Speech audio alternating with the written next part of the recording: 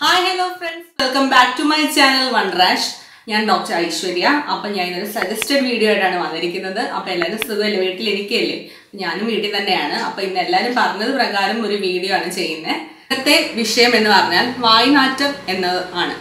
അപ്പോൾ ഈ വായ്നാറ്റം എന്നത് നമ്മുടെ മെയിനായിട്ട് നമ്മുടെ കോൺഫിഡൻസിനെ റിഫ്ലക്റ്റ് ചെയ്യുന്ന ഒരു കാര്യമാണ്. നമുക്ക് ഒരാളുടെ മുമ്പിൽ നിന്ന് സംസാരിക്കുക പിന്നെ ഒരു ഇന്റർവ്യൂവിനൊക്കെ പോവുകയാണെങ്കിൽ ബാക്കിയുള്ളവരുടെ മുഖത്ത് നിന്ന് ഫ്രണ്ടിലോട്ട് നിന്ന് ഫേസ് ടു ഫേസ് നിന്ന് സംസാരിക്കുക അങ്ങനെയൊക്കെ പല പലതരം ബുദ്ധിമുട്ടുണ്ടാക്കുന്ന കാര്യമാണ് ഈ വായനാറ്റം എന്ന് പറയുന്നത്. പിന്നീടല്ലാതെ നമുക്ക് ഏറ്റവും കൂടുതൽ ഷെയർ ചെയ്യാത്ത കാര്യവും ഈ വായനാറ്റം തന്നെയാണ്. ഇപ്പോൾ ഒരാൾക്ക് ഒരു മനസ്സിനൊരു ഭാരം ഉണ്ടെങ്കിൽ നമുക്ക് ആർക്കെങ്കിലും പറയാം. പക്ഷേ ഈ വായനാറ്റം ഉള്ളത് നമുക്ക് ആർക്കും ഷെയർ ചെയ്യാൻ പറ്റില്ല. അത് നമ്മുടെ ഒരു ഇമേജിനെ തന്നെ ബാധിക്കുന്ന ഒരു കാര്യമാണ്. അതുകൂടാതെ തന്നെ ഭാര്യ ഭർത്താക്കന്മാർ തമ്മിൽ ഒരു സംസാരത്തിന്റെ ആ ഒരു ദൈർഘ്യം കുറയ്ക്കുന്നതും ഈ വായനാറ്റം തന്നെയാണ്. അപ്പൊ അതിന് കുറെ കാരണങ്ങളുണ്ട്. അപ്പൊ ആ കാരണങ്ങൾ നമുക്ക് കണ്ടുപിടിക്കണം എന്തൊക്കെയാണെന്ന് അതിനുള്ള ടിപ്സും ട്രീറ്റ്മെന്റ്സും ആണ് ഇന്നത്തെ ഈ വീഡിയോയിൽ ഉള്ളത്. അപ്പൊ നമുക്ക് ആ ഫുൾ വീഡിയോ കാണുക. കണ്ടതിന് ശേഷം നമ്മുടെ കാരണങ്ങളും ചോദ്യങ്ങളും എല്ലാം നിങ്ങൾക്ക് സംശയം ഉണ്ടെങ്കിൽ കമന്റ് ബോക്സിൽ ഇടുക. അപ്പൊ നമുക്ക് വീഡിയോയിലേക്ക് കടക്കാം. ആദ്യമായിട്ട് നമുക്ക് ഇതിന്റെ കാരണങ്ങളാണ് നോക്കേണ്ടത്. വായനാറ്റം വരാനുള്ള കാരണങ്ങൾ ആദ്യമായി കുറെ കുറെ കാറ്റഗറീസ് ഉണ്ട്. അതായത് നമുക്ക് വായനാറ്റം ഉണ്ടെന്ന് തോന്നാം. ചിലപ്പം ട്രീറ്റ് ചെയ്ത് കഴിഞ്ഞിട്ട് വായനാറ്റം ഉണ്ടെന്ന് തോന്നും. ചിലപ്പോൾ ഇല്ലാത്തവർക്കും ഉണ്ടെന്ന് തോന്നും. അങ്ങനെ മൂന്ന് കാറ്റഗറീസ് ആണ് ഉള്ളത്. ആദ്യം നമുക്ക് അതിന്റെ കാരണങ്ങൾ എന്തൊക്കെയാണ്? കുറേ കാരണങ്ങളുണ്ട്. അപ്പൊ അതിനകത്ത് ആദ്യമായിട്ട് ശരീരശാസ്ത്രപരമായിട്ട് കുറ- കുറച്ച് കാര്യങ്ങളുണ്ട്. അതായത് ഫിസിയോളജി അതായത് നോർമൽ കാര്യങ്ങൾ അതെന്തൊക്കെയാന്ന് വെച്ച് കഴിഞ്ഞാൽ ആദ്യമായി നമുക്ക് വിശപ്പ് വരുമ്പോൾ എന്തായാലും ഒരു വായനാറ്റം നോർമലി എല്ലാവർക്കും വരും. അപ്പൊ അത് ആരും അങ്ങനെ പറയാറില്ല. കാരണം നമ്മൾ വിശന്നിരിക്കുമ്പോൾ നമുക്ക് വായിൽ വെള്ളം കാണത്തില്ല. ഡീഹൈഡ്രേറ്റഡ് ആവും. ഡീഹൈഡ്രേറ്റഡ് ആവുമ്പോൾ നമുക്ക് വായിൽ നോർമലി സലൈവയുടെ പ്രൊഡക്ഷൻ കുറയും. ഉമ്മിനീരിന്റെ പ്രൊഡക്ഷൻ കുറയും. കുറയുന്ന സമയത്ത് നമുക്ക് ബാക്കിയുള്ളവരോട് സംസാരിക്കുമ്പോഴോ ആ സമയത്ത് നമ്മൾ തുമ്മുമ്പോഴോ അതിഭീകരമായ വായനാറ്റം അനുഭവപ്പെടാറുണ്ട്. പിന്നെ അല്ലാതെ നമ്മൾ കുറച്ച് പ്രായം കൂടുമ്പോൾ അതായത് വാർദ്ധക്യത്തിലും മായനാറ്റം കൂടുതൽ വരാറുണ്ട്. പിന്നെ ശൈശവകാലത്തും പിന്നെ മദ്യം വെളുത്തുള്ളി അങ്ങനെ ഉപയോഗിക്കുന്നവർക്കും ഗർഭാവസ്ഥയിലും നമുക്ക് സാധാരണയായി മായനാറ്റം വരാറുണ്ട്. ഫിസിയോളജിക്കലി മാത്രം. ഇനി കുറച്ച് രോഗനിദാനമായിട്ടുള്ള കുറച്ച് കാര്യങ്ങളാണ് ഉണ്ട്. അതായത് പാത്തോളജിക്കലി എന്ന് നമ്മൾ പറയും മെഡിക്കൽ ടേമിൽ ആ മെഡിക്കൽ ടേമിൽ പാത്തോളജിക്കലി തന്നെ നമ്മൾ കുറേ ഡിവിഷൻസ് ഉണ്ട്. അതൊന്നും ഞാൻ ഇവിടെ പറയുന്നില്ല. അപ്പം നമുക്ക് അതിന്റെ മെയിൻ കാരണം എന്താണെന്ന് വെച്ച് കഴിഞ്ഞാൽ നമുക്ക് ഈ വായിൽ വായിലെ കാര്യം മാത്രം പറയുകയാണെങ്കിൽ മോണരോഗം കുറ്റിപ്പല്ല് കേടായ പല്ലുകൾ അതേപോലെ ഇരിക്കുന്നതാണ് ഏറ്റവും മെയിൻ ആയിട്ടുള്ള പ്രശ്നം. പിന്നീട് നമുക്ക് നമ്മൾ കുറച്ച് അപ്ലയൻസ് ഒക്കെ വയ്ക്കും അതായത് ഈ കമ്പി ഇട്ട പല്ലുകൾ എന്റെ എന്റെ പോലെ തന്നെ കമ്പി ഇട്ട പല്ലുകൾ നമ്മൾ കുറച്ച് അപ്ലയൻസ് ഒക്കെ വെക്കും. എന്ന് വെച്ചാൽ കമ്പി ഇട്ടതിന് ശേഷം നമ്മൾ പ്ലേറ്റ് ഒക്കെ വെച്ചിട്ട് വായിലൊരു സെറ്റ് ഒക്കെ ചെയ്യുന്ന കുറച്ച് കാര്യങ്ങളൊക്കെ ഉണ്ടല്ലോ. അപ്പൊ അത് വിശദീകരിച്ച് പറയുന്നില്ല. അങ്ങനെ വെക്കുമ്പോൾ അത് ക്ലീൻ ചെയ്യാത്ത അവസ്ഥ. നമ്മൾ ആ സമയത്ത് നമ്മൾ ബ്രഷിങ് തീരെ ശ്രദ്ധിക്കത്തില്ല. അതുകൂടാതെ തന്നെ നാക്കിന്റെ വീക്കം നാക്കിനൊരു കോട്ടിങ് പോലെ വെള്ള കോട്ടിങ് പോലെ വരിക. അതേപോലെ തന്നെ നമ്മുടെ വായിലെ തന്നെ ഒരു വീക്കം ഇതെല്ലാം ഇതിന് കാരണമാകുന്നുണ്ട്. പിന്നെ നമുക്ക് ചെയ്യാൻ പറ്റുന്നത് എന്താണെന്ന് വെച്ചാൽ കാർബോക്സി മീതൽ സെല്ലുലോസ് എന്ന് പറഞ്ഞ മെഡിക്കേഷൻ ഉണ്ട്. അത് നമ്മുടെ വായിലെ ഉമിനീരിന്റെ അളവ് കുറയുമ്പോൾ നമുക്ക് തരുന്നതാണ്. അത് ഡോക്ടറിന്റെ പ്രിസ്ക്രിപ്ഷനോട് കൂടി മാത്രം വാങ്ങിച്ച് കഴിക്കുക. അതിനുശേഷം നമുക്ക് ചെയ്യാൻ പറ്റുന്നത് എന്താ വെച്ചാൽ ഷുഗർ ഫ്രീ മിന്റ് മിന്റ് നമുക്ക് വാങ്ങിക്കാൻ കിട്ടും. അതായത് അത് ടെമ്പററി റിലീഫിന് വേണ്ടിയിട്ടാണ്. മിന്റ് കഴിക്കുമ്പോൾ നമുക്ക് വായിൽ ഒരുപാട് ആ ബാക്ടീരിയാസ് സ്വീറ്റൻ മധുരം ഉണ്ടായത് കൊണ്ട് നമുക്ക് വായിലെ ബാക്ടീരിയാസ് കൂടാൻ ചാൻസ് ഉണ്ട്. അപ്പൊ നമുക്ക് ആ ഷുഗർ ഫ്രീ മിന്റ് നോക്കി വാങ്ങിക്കുക. പിന്നെ മൗത്ത് വാഷ് വാങ്ങിക്കുമ്പോൾ പ്രത്യേകം ശ്രദ്ധിക്കണം. ആന്റിബയോട്ടിക് കണ്ടന്റ് ഉള്ള മൗത്ത് വാഷ് ഒരിക്കലും വാങ്ങിക്കരുത്. പിന്നീട് നമുക്ക് ചെയ്യാൻ പറ്റുന്ന എന്താണെന്ന് ചോദിച്ചാൽ സ്മോക്കിംഗ് ഒഴിവാക്കണം. ആപ്പിൾ ഒരുപാട് കഴിക്കാൻ നോക്കണം കേട്ടോ. ആപ്പിൾ ഒരുപാട് കഴിക്കുമ്പോൾ നമുക്ക് അതിന്റെ ഒരു ആ ഒരു എഫക്റ്റ് നമുക്ക് കിട്ടും. അതായത് കാരണം ഈ നമുക്ക് സാധാരണ രീതിയിൽ നമ്മുടെ വായിൽ ഈ നാറ്റം വരുമ്പോൾ ഒന്നെങ്കിൽ ഒരു മീനിന്റെ നാറ്റം അല്ലെങ്കിൽ ഒരു ചീഞ്ഞ മുട്ട ചീഞ്ഞ ആപ്പിൾ ആ ഒരു സ്മെല്ലൊക്കെ ആയിരിക്കും വരുന്നത്. അതൊന്ന് മാറാൻ വേണ്ടിയിട്ട് ആ ഫ്രഷ് ആയിട്ടുള്ള ഒരു ആപ്പിൾ കഴിക്കുന്നത് ഏറ്റവും നല്ലതായിരിക്കും. ഇനി കുറച്ച് വ്യവസ്ഥാപരമായിട്ടുള്ള കാര്യങ്ങളും ഉണ്ട്. അതായത് നമ്മൾ രോഗനിദാനമായ കാര്യങ്ങളിൽ തന്നെ രണ്ട് കാറ്റഗറി ഉണ്ട്. പ്രാദേശിക കാര്യങ്ങളും ഈ വ്യവസ്ഥാപരമായിട്ടുള്ള കാര്യങ്ങളും. അതിനകത്ത് ഈ വ്യവസ്ഥാപരമായിട്ടുള്ള കാര്യങ്ങളിലാണ് നമുക്ക് വരുന്നത്. ഈ സൈനസൈറ്റിൽ അതായത് E N T E N T കാണിക്കേണ്ട പ്രോബ്ലംസ് ഉണ്ട്. റെസ്പിറേറ്ററി പ്രോബ്ലംസ് ശ്വാസകോശത്തിന്റെ പ്രോബ്ലംസ് അങ്ങനെ പിന്നെ അല്ലാതെ ഉള്ള പ്രോബ്ലംസും ഉണ്ട്. അപ്പൊ ആദ്യമായിട്ട് നമ്മുടെ സൈനസൈറ്റിസ് സൈനസൈറ്റിസ് എന്ന് പറഞ്ഞാൽ സൈനസ് നമുക്ക് ഇവിടെ സൈനസ് ഉണ്ട് എത്തുമോയിഡ് സൈനസ് മാക്സിലറി സൈനസ് അങ്ങനെ കുറെ സൈനസ് ഉണ്ട്. ആ സൈനസുകളിലെ വീക്കം ആ സൈനസിന്റെ വീക്കം അതായത് സൈനസിന്റെ ഐറ്റിസ് എന്ന് വെച്ചാൽ ഇൻഫ്ലമേഷൻ അതിന് ഇൻഫ്ലമേഷൻ കൊണ്ടുണ്ടാവുന്ന ആ ഒരു എല്ലാ ക്യാവിറ്റീസിലും ഉണ്ടാവുന്ന ആ ഒരു ഇതിനെ നമ്മൾ ഹെലറ്റോസിസ് എന്ന് പറയും. നമ്മുടെ വായുനാറ്റത്തിന് നമ്മൾ ഹെലറ്റോസിസ് എന്ന് പറയും. എല്ലാ ക്യാവിറ്റീസും എയർ ഫിൽഡ് ക്യാവിറ്റീസ് അതായത് എയർ നിറഞ്ഞിരിക്കുന്ന ഏതൊക്കെ ക്യാവിറ്റീസ് ഉണ്ടോ അതിനെല്ലാം നമ്മൾ അവിടുന്ന് വരുന്ന ഈ ഒരു സ്മെല്ലിനെ നമ്മൾ ഹെലറ്റോസിസ് എന്ന് തന്നെയാണ് പറയുന്നത്. അപ്പോൾ നമ്മൾ ഈ വായുനാറ്റത്തിനെ നമുക്ക് ഇംഗ്ലീഷിൽ അതായത് അല്ലെങ്കിൽ മെഡിക്കൽ ടേമിൽ നമുക്ക് ഹെലിറ്റോസിസ് എന്ന് വിളിക്കാം. നോർമലി നമ്മൾ ബാഡ് ബ്രത്ത് എന്ന് പറയും. അപ്പം നമ്മുടെ ഈ വ്യവസ്ഥാപരമായിട്ടുള്ള കാര്യങ്ങളിൽ നമുക്ക് വരുന്നത് എന്തൊക്കെയാണെന്ന് നോക്കാം. സൈനസൈറ്റിസ് ടോൺസിലൈറ്റിസ് അതായത് ടോൺസിൽ വീക്കം അഥവാ ഗസ്നി വീക്കം എന്ന് പറയും. പിന്നെ ശ്വാസകോശത്തിന്റെ അതിലേക്ക് വരികയാണെങ്കിൽ നമുക്ക് ക്ഷയരോഗം അതൊരു ഇമ്പോർട്ടന്റ് കാര്യമാണ്. അങ്ങനെയുള്ളവർക്ക് വായനാറ്റം വരാറുണ്ട്. പിന്നീട് ലങ് ആപ്സസ് അഥവാ ശ്വാസകോശത്തിലെ കുരു. അതിൽ അങ്ങനെയുള്ളവർക്കും വരാറുണ്ട്. പിന്നെ അല്ലാതെ വരുന്നത് നമ്മുടെ ബ്രോങ്കൈറ്റിസ് എന്ന് പറയും. അതായത് ലങ്സിലേക്ക് എയർ കൊണ്ടുവരുന്നത് ബ്രോങ്കൈ എന്ന് പറയുന്ന ട്യൂബാണ് ആ ട്യൂബിന്റെ വീക്കം അതാണ് ബ്രോങ്കൈറ്റിസ് അങ്ങനെയുള്ളവർക്ക് നമുക്ക് ഈ വായനാറ്റം അനുഭവപ്പെടാറുണ്ട്. അല്ലാത്ത കാര്യങ്ങൾ എന്ന് വെച്ചാൽ വാ തുറന്നു വെച്ച് ഉറങ്ങുന്നവർക്ക്. അതായത് വാ ഡ്രൈ ആവും. ഞാൻ നേരത്തെ പറഞ്ഞ പോലെ വാ ഡ്രൈ ആവും. ഡ്രൈ ആവുമ്പോൾ നമുക്ക് തുപ്പൽ അഥവാ ഉമ്മിനീര് വായിൽ കാണത്തില്ല. അപ്പോൾ ആ സമയത്ത് വായുനാറ്റം വരാറുണ്ട്. പിന്നെ അല്ലാത്ത പ്രോബ്ലംസ് എന്നൊക്കെ പറയുകയാണെങ്കിൽ അനീമിക് ആയിട്ടുള്ളവർക്ക് വരാറുണ്ട്.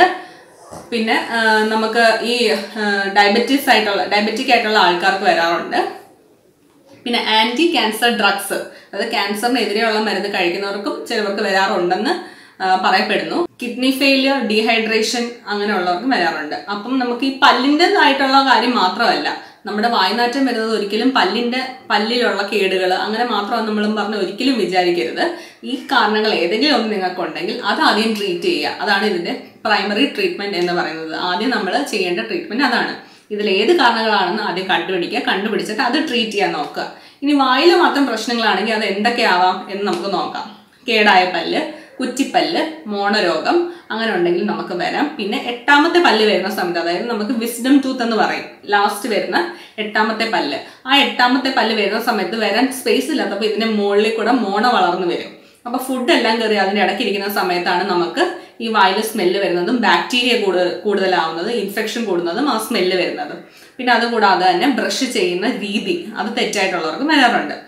അപ്പൊ നമുക്ക് നേരെ ഇതിന്റെ ട്രീറ്റ്മെന്റ്സിലേക്ക് കിടക്കാം. ട്രീറ്റ്മെന്റ് എന്താന്ന് പറയുന്നത് എന്ന് വെച്ച് കഴിഞ്ഞാൽ നമ്മൾ ഫസ്റ്റ് കൺസൾട്ട് ചെയ്യ ഡോക്ടർ ആദ്യം നമ്മൾ പോയി ഡെന്റിസ്റ്റിനെ കാണുക ഡോക്ടറിനെ കാണുക. അതിനുശേഷമാണ് നമ്മൾ നമ്മുടെ ബ്രഷിംഗ് ഹാബിറ്റ് ശരിയാക്കേണ്ടത്. ബ്രഷിംഗ് ഹാബിറ്റ് നമ്മൾ എല്ലാവരും ബ്രഷ് ചെയ്യുന്നത് പല്ല് നശിച്ചു പോരെന്നുള്ള രീതിയിൽ നല്ല രീതിയിൽ രണ്ട് മൂന്ന് വട്ടം ചെയ്യുമായിരിക്കും പക്ഷെ അതിന്റെ കറക്റ്റ് ടെക്നിക്ക് അനുസരിച്ച് ചെയ്തില്ലെങ്കിൽ ഈ ഫുഡെല്ലാം കഴിച്ചതെല്ലാം ആ പല്ലിന്റെ ഇടയിൽ തന്നെ ഇരിക്കും. അതൊന്നും പോകത്തില്ല. അപ്പൊ കറക്റ്റ് ടെക്നിക്കായിട്ട് ചെയ്യാൻ. കറക്റ്റ് ടെക്നിക്ക് എന്ന് വെച്ച് കഴിഞ്ഞാൽ ഫ്രണ്ടിൽ നല്ല കുറേ മെത്തേഡ്സ് ഉണ്ട്. ഇപ്പോൾ ഏറ്റവും സിമ്പിൾ ആയിട്ടുള്ള മെത്തേഡ് എന്ന് പറഞ്ഞു കഴിഞ്ഞാൽ മുകളിലത്തെ പല്ല് മുകളിൽ താഴോട്ടും താഴത്തെ പല്ല് താഴെ നിന്ന് മുകളിലോട്ടുമാണ് ബ്രഷ് ചെയ്യേണ്ടത്. ബാക്കിൽ നിന്ന് നല്ലപോലെ നമ്മൾ തൂക്കത്തില്ല. ആ ഒരു സ്റ്റൈലിൽ ഇങ്ങനെ ഇങ്ങനെ തൂത്ത് തൂത്ത് അങ്ങനെ എടുക്കണം. അതാണ് സ്റ്റൈൽ ഇങ്ങനെ ഇങ്ങനെ വരച്ചു കഴിഞ്ഞാൽ നമ്മുടെ ഇനാമൽ തന്നെ എപ്പോഴും ദ്രവിച്ച് ദ്രവിച്ച് പോകുന്ന പോലെ ആ ഒരു എഫക്റ്റ് ഒന്ന് വെട്ടി തേയ്മാനം പോലെ നമുക്ക് എല്ലാ പല്ലുകൾക്കും വരാനായിട്ട് ചാൻസ് ഉണ്ട്. അപ്പം അങ്ങനെ ചെയ്യരുത്. അപ്പം അത് ശ്രദ്ധിക്കണം. ബ്രഷിങ് ഹാബിറ്റ് ശ്രദ്ധിക്കണം. പിന്നെ കൂടുതൽ വെള്ളം കുടിക്കണം. വെള്ളമാണ് ഏറ്റവും ഇടയ്ക്കിടയ്ക്ക് വെള്ളം കുടിക്കണം. അപ്പോൾ ഈ വായുനാറ്റം നമുക്ക് കുറഞ്ഞിരിക്കും. പിന്നുള്ള കാര്യം എന്താണെന്ന് വെച്ച് കഴിഞ്ഞാൽ നമ്മൾ കോഫി മാക്സിമം ഒഴിവാക്കണം. കോഫിക്കകത്ത് കഫൈൻ എന്ന് പറഞ്ഞൊരു കണ്ടന്റ് ഉണ്ട്. അതുള്ളപ്പോൾ നമ്മുടെ ഉമ്മിനീരിന്റെ പ്രൊഡക്ഷൻ ആ കഫൈൻ കുറയ്ക്കും. കുറയ്ക്കുമ്പോൾ നമുക്ക് വായിൽ ഉമ്മിനീര് കുറയും. കുറയുമ്പോൾ സ്മെല്ല് വരാനുള്ള ചാൻസ് ഉണ്ട്. അങ്ങനെ വായിൽ ആ ഒരു ഡ്രൈ മൗത്തായിട്ടിരിക്കുന്ന അവസ്ഥയെ നമ്മൾ സിറോസ്റ്റോമിയ എന്ന് പറയും. അപ്പം അതൊന്ന് ശ്രദ്ധിക്കണം. പിന്നീട് വീട്ടിൽ തന്നെ ചെയ്യാനുള്ള ഒരു ഹോം റെമഡി എന്ന് വെച്ചാൽ ഇരട്ടി മധുരം കുറച്ച് ഇരട്ടി മധുരം അങ്ങാടിയിലൊക്കെ കിട്ടും. അപ്പോൾ അത് കുറച്ച് എഫക്റ്റീവ് എന്നൊക്കെ കേട്ടിട്ടുണ്ട്. അപ്പോൾ അത് നമുക്ക് വീട്ടിൽ വേണമെങ്കിൽ ട്രൈ ചെയ്ത് നോക്കാം പോകുന്നുണ്ടെങ്കിൽ.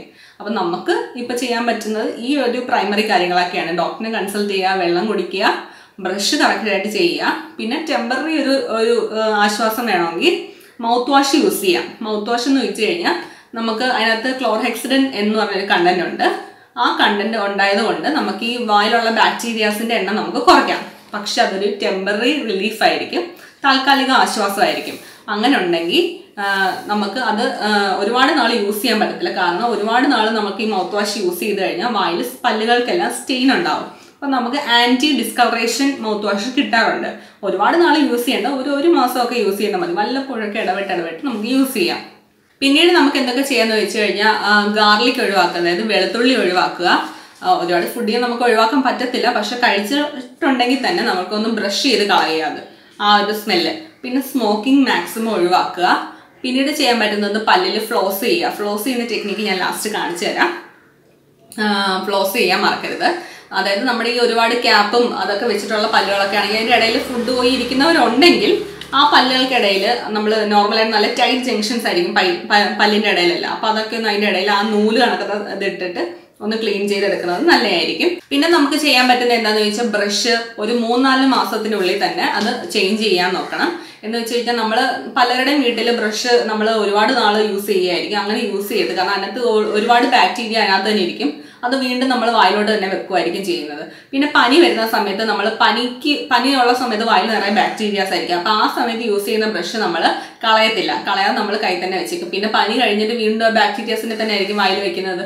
അപ്പോൾ അങ്ങനെ പനി വരുന്ന സമയത്ത് ആ ബ്രഷ് ചേഞ്ച് ചെയ്യാം.